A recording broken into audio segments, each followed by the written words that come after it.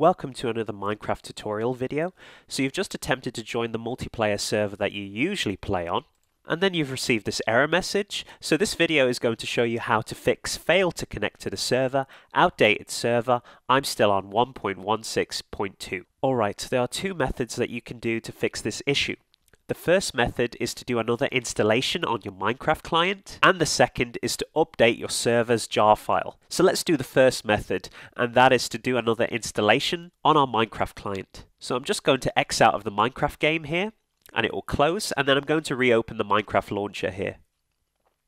Once that's loaded up, instead of just clicking play, you're going to go here to the top of your launcher and you're going to click on installations. And the next thing you'll need to do is click on new here, click the plus symbol, left click, and then you'll be greeted with the create a new installation window. Here you can choose an installation block so you can easily identify the new installation. So I'm just going to go with the pumpkin here. Give it a name, so I'm going to go with the version of the installation, which is going to be 1.16.2. And then for the server version, as you saw, the server was 1.16.2. However, the latest version of Minecraft is 1.16.3. So we'll need to click the arrow here and then select the previous version. So 1.16.2 release. Left click on it and then I'm going to leave everything else as default except the resolution. I'm just going to change that to 1080p and then I'm going to go to the bottom right hand corner and left click on create. In our installations window, you can see that I have three installations. And then all you need to do is go over to where it says play and left click on it and your Minecraft launcher will load up. Alright, once that's loaded back up again, left click on multiplayer and now attempt to rejoin your server. So left click on the server that you want to join and then click join server. And as you can see, it begins connecting to the server and it should take you into your Minecraft world. And there we go guys, for method 1, that is a quick way of how you can bypass an outdated version of Minecraft and still play the game. Alright, so I'm just going to exit out of this server for now and click disconnect. And now I'm going to show you method 2. So I'm just going to click cancel here and then click on quit game and then you'll be brought back to your desktop. So now method 2. If you own the server, what we'll need to do is to delete the old Minecraft server.jar file and replace it with the latest version of the Minecraft server.jar file. So to do this, we're now going to need to open up our SSH terminal window. I'm assuming you're already logged in. If you are, all you need to do is open up your SSH terminal. Your server will most likely be already running. So the first thing you'll need to do is type stop to stop your server and kill it.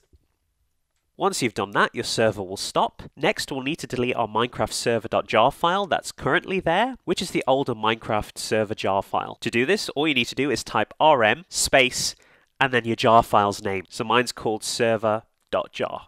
Once you've done that, hit enter. And now that server.jar file has been deleted. Next, you'll need to download the latest Minecraft server version. To do this, you'll need to open up your browser and then navigate to the following URL address www.minecraft.net slash en us slash download slash server. Once you're here, you should see the following. Download Minecraft underscore server dot one dot one six dot three dot jar or whatever is the latest version of Minecraft. And you can see a piece of hyperlink text here.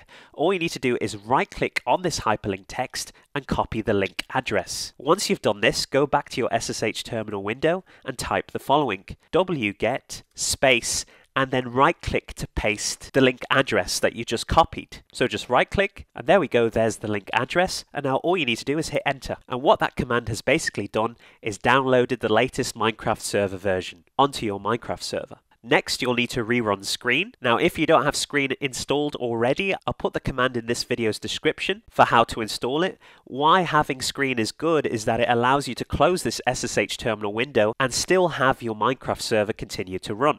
So I already have screen installed, so all you need to do is type screen if you already have screen installed and then hit enter. You'll be greeted with this window that basically tells you that screen is running. Just hit enter and now you'll be greeted with a clear terminal window. All that's left to do now is to start our Minecraft server. So I'm just going to need to grab the command here, so I'm going to go back to my browser here, and back to the minecraft.net download server page, and what you'll need to do is copy the text in purple here, which is the command to start our server.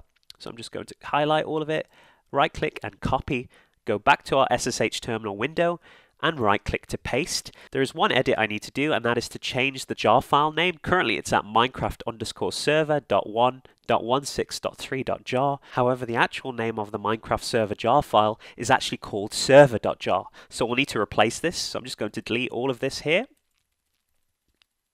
And then I'm going to just type server dot jar space no GUI, press enter, and the command will execute and begin starting your server and loading your world.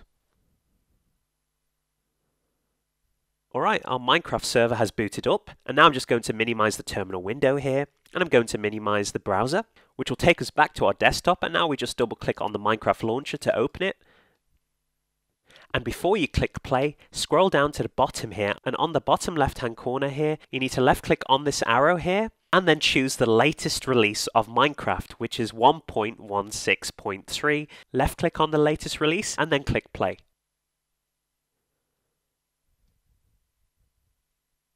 Alright, once you're back on the main menu, left click on multiplayer, and then all you need to do is left click on the server that you joined previously. For me it's this one here, so just left click on it and then click on join server to be connected to the server.